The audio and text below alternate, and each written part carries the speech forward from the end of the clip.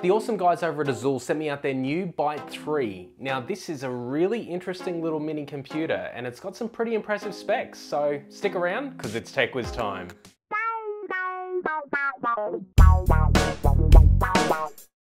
Hey guys, hope you're having a great week. My name's Jonathan and this is TechWiz Time, where I create technology tutorials and review videos. Like I mentioned before, this is the Byte 3 from Azulle. It's got a quad-core Apollo Lake N3450 CPU inside.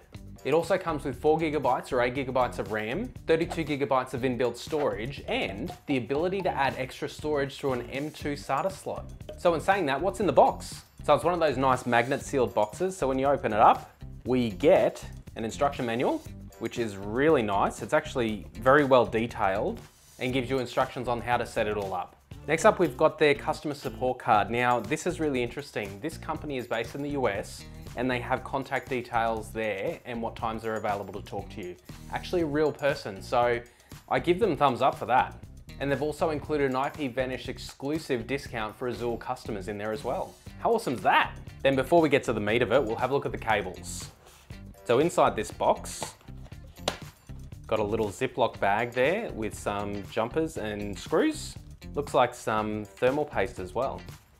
And then we've got the 12 volt power supply, and we also have a remote. That looks like a really nice remote. Awesome. So now to the main unit itself, and there we go.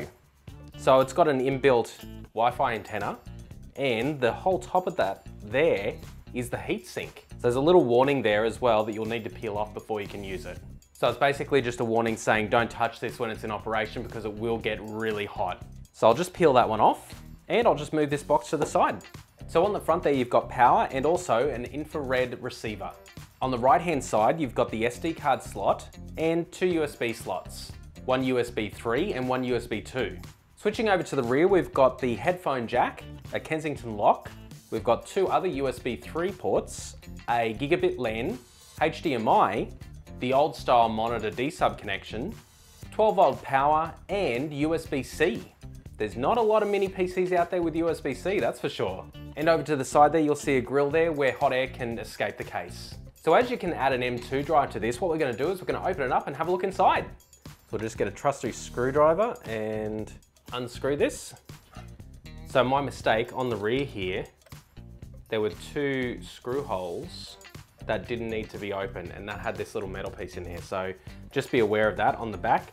These bottom two down here, don't need to be unscrewed. Otherwise, this will be floating around inside your case and you don't want that aluminium in there. So with that back on now, I can put that aside. Okay, so inside we've got the SATA cable and SATA power cable. They're already hooked up in there. And just to the side of that is the M2 slot. Also, you'll see in there the CMOS battery is wired up and protected, so it's ready to go. The Wi-Fi and Bluetooth chipset is just there and the actual CPU itself is underneath the board. So it's got contact with the top of the case so it can help dissipate that heat. So let's boot this up and see what it can do.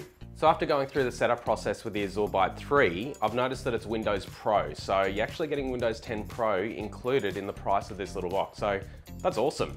So once it's all set up, we'll jump straight into the benchmarks. And the first thing I'm gonna do is test out with Crystal Disk the speed of the onboard storage.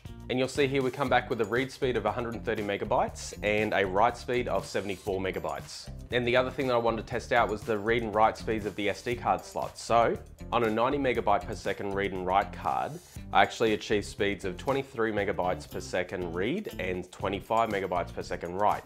Now this is probably due to them using the USB 2 chipset instead of the USB 3. Next up, I'll test out the Wi-Fi speeds. Now this is using AC, which is actually upstairs, so there is a little bit of distance for it to cover, just pre-warning. My um, home internet connection is 200 over 80. So on the download, we're getting 84 megabits per second, and on the upload, we're getting 63 megabits per second. So not too bad.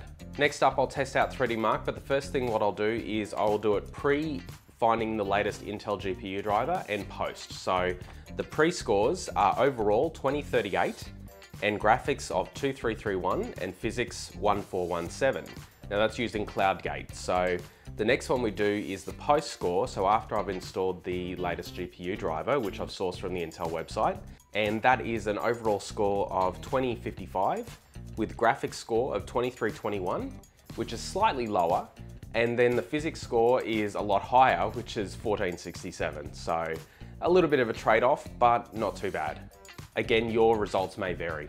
So as this is going to be used for a media center for a lot of people, I wanted to test out several different types of video files in different encodings. So the first one up is the jellyfish file, and we're looking at H.264 1080p 55 megabits per second for the first file, H.265 4K at 140 megabits per second for the second file, same again but at 200 megabits per second for the third, and same again but 400 megabits per second for the fourth. Now what you'll notice here is with out of the four, the first two are fine, they, they are fine at 30 frames per second. The second two, however, uh, drops to about 28 frames per second on the 200 megabits per second file, but the 400 drops to about 20 frames per second during the first half, which is very intense. And the second half, where it's not as intense, it goes to about 28 frames per second. So not too bad. All right, next up is Buck Bunny. Now this is two different files. They're both 4K resolution. They're both H.264. One is at 30 frames per second and one is at 60 frames per second. Now the first one at 30 frames per second just breezes through, but in the second one, at the 60 frames per second, we'll notice that it goes as low as 30 frames per second and hovers around the 40-ish frames per second. So we're not achieving that full 60 frames per second here. So that's media and benchmarks out of the way. The next step I'm gonna look at is gaming. Now the first game that I'm going to load up is South Park and that runs at 17 frames per second roughly at the 1080p resolution. So what I thought here is I'll drop that down to 720p and what I achieved here was about 27 to 30 frames per second. And one of the things you'll notice with um, South Park is that it is locked to 30 frames per second. So it's pretty close to being full FPS here and definitely playable. So with the native game out of the way, I'm going to try some emulation and the first one up is PPSSPP, which is the PSP emulator. And the first game here is Power Stone and I was seeing about 40 to 60 frames per second. So not too bad. It is playable, but it does have slowdowns during really action-packed scenes.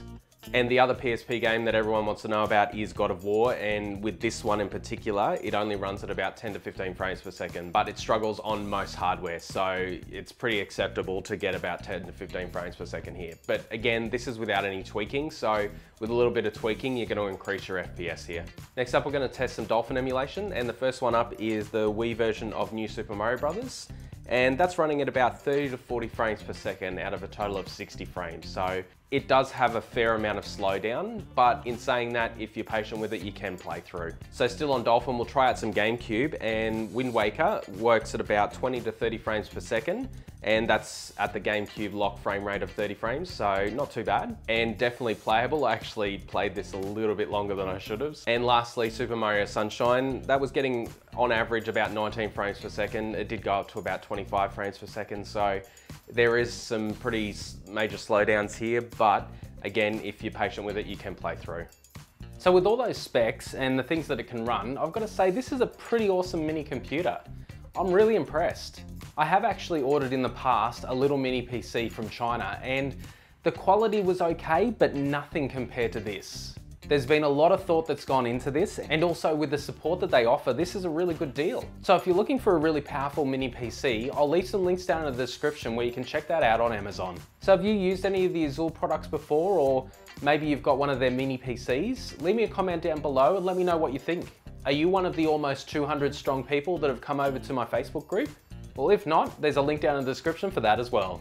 Don't forget to click on that big red subscribe button down there. And if you have, then make sure that you click on the bell icon so you can get notified of my new videos. If you can like and share this video with as many people as you can, that would be great. And as always, imagine, learn, create.